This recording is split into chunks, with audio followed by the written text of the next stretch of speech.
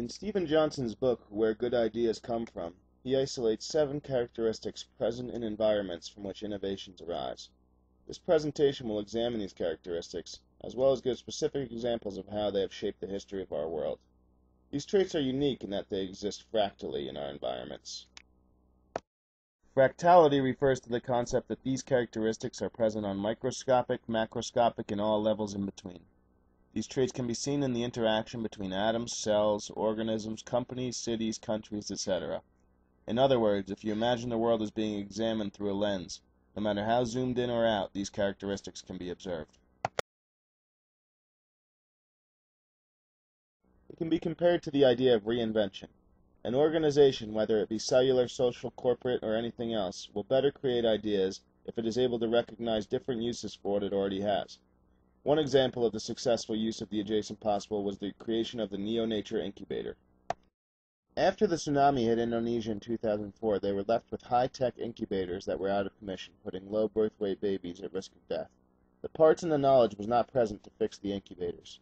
What the society did have, however, was working cars. Using mecha mechanics expertise, they created new incubators known as neo-nurtures made entirely of car parts. The second trait covered by Johnson is known as liquid networks. Johnson recognized that big ideas do not arise from an individual sitting and thinking about specific problems, but rather through the free flowing of ideas from different parties. Good ideas are almost never singular, but a swarm of like-minded ideas that eventually solve a problem. A great example of liquid networks at work was the rise of double-entry accounting. Double entry accounting is now the cornerstone of modern bookkeeping, but it did not arise until economies started shifting from feudal structures in which a few minds monitored most of the money to the more open marketplaces of capitalism where goods, ser goods, services, as well as ideas were freely traded. The exact origins of double entry accounting remain unknown, but what is known is that it became the gold standard of monitoring financial health through, through it being taught in the marketplace. As merchants sold their wares, they also discussed bookkeeping and business with their contemporaries. Through this exchange of information, the use of double entry accounting proliferated. Important to note that liquid networks do not necessarily mean that every person or piece in the network contributes to a particular idea, but rather that when a good idea is developed, it can be shared throughout the network, thus increasing the adjacent possible of everyone else in the network, and therefore increasing the likelihood, likelihood that they may make a positive contribution to the network later on.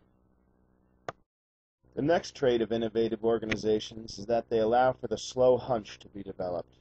While it makes for good stories, for the most part, major, history-changing innovations did not emerge from a light bulb going off moment some individual had, but rather were developed over time after it was nurtured and perfected. A simple solution to facilitate the slow hunch to come to fruition is to write down one's thoughts and ideas as they come. One of Charles Darwin's most important tools in his development of the theory of evolution was his notebook. He had a hunch that the different species he was researching were interconnected, but could not clearly communicate this until copious data was collected. Once he was able to examine his compiled observations from an extensive period of time, he was able to clearly see the picture that his hunch was pushing him to look for.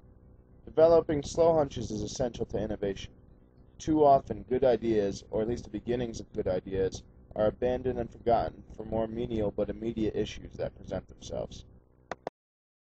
The fourth trait of innovative organizations is the promotion of serendipity. Serendipity is defined as the unsought, un unintended, and or unexpected discovery and or learning experience that happens by accident and sagacity. By definition, serendipity is not something that can be forced. However, organizations can increase the likelihood that innovators be serendipitous. The simplest solution to increase serendipity in an organization is to eliminate all barriers to free flowing of ideas. Creating an environment of free flowing ideas increases the density of ideas within the organization. This increases the likelihood that a member of an organization serendipitously stumbles upon one of his counterpart's ideas that happens to help with his own innovation. The next trait of innovative society is the presence of error, or at least the trait that members in the society are not error averse. Error is related to serendipity, in that oftentimes an error made in the process of developing one idea becomes the unintended solution to another problem. Johnson notes that the mantra of internet startups is fail faster.